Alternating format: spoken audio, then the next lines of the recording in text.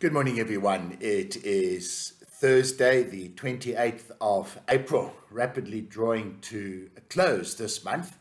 Next week, we are into May already.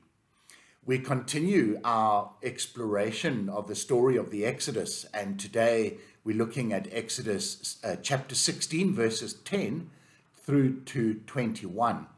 But I'll go back a bit because there is some exciting developments that took place in the reading yesterday, which of course I did not uh, share in a little address. I'll pick up on that today. Um, the Israelites have crossed the Red Sea. There's great rejoicing. We noted um, on Tuesday when we last spoke how, as humans, we tend to rejoice when things go well and then we get all grumpy and we blame somebody um, the people around us, whether it's your minister or the bishop, but ultimately we're blaming God when things go bad. And you see the Israelites do that. And I'm afraid that's just part of the human human nature. It doesn't make it uh, right, simply that everyone else is doing it. It is wrong. And in fact, Paul exhorts us, is it in Corinthians, where he says, you know, we must not be like that. We must have faithful, uh, a faithful response and belief in God uh, because God will provide for us. And don't, don't be grumpy when things don't go our own way. Um, and that message from Paul that God is always faithful is certainly what you see coming through.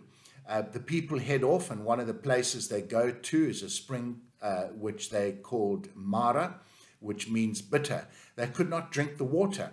And Moses, as told by God, takes a, a, a piece of wood and he throws it into the water, and the water becomes quite palatable.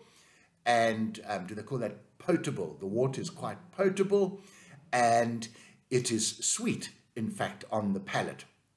And I can't help but think of the cross and God's provision um, in, in telling Moses to throw that piece of wood into the water and God's provision to us of salvation through the Lord Jesus Christ when he died on the cross, a just man dying for the unjust, a just man who was sinless but falsely accused.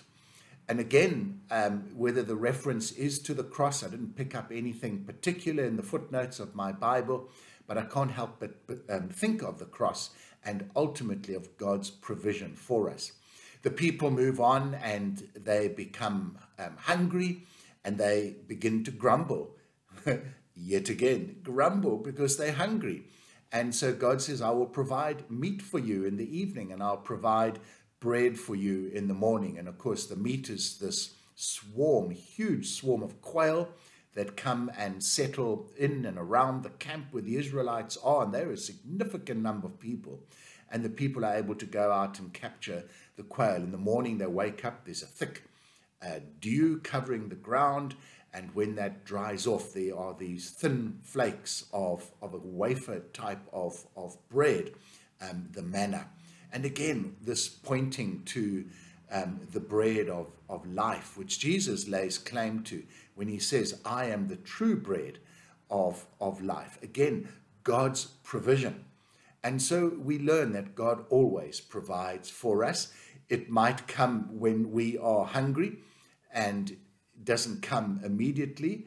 It comes in a way that is entirely miraculous. And that's the other clue here is that I'm not convinced that Moses somehow intelligently led the people through the migration paths of quail. If they, if quail ever does um, fly and migrate from country to, to country, it truly was a miracle. The piece of wood going into the water may well symbolize the cross but it is a miracle.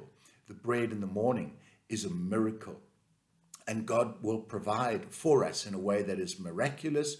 We note and we can't fully uh, explain and understand that often it, it comes quite late. But it's our faithfulness that God is looking for. God is teaching us perseverance and strength and courage and faith.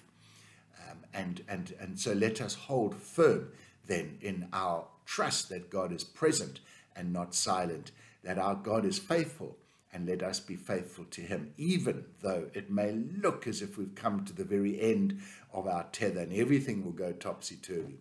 Remain faithful to our Lord. He is present. He will provide. Folks, have a wonderful day. We'll chat again tomorrow. God bless.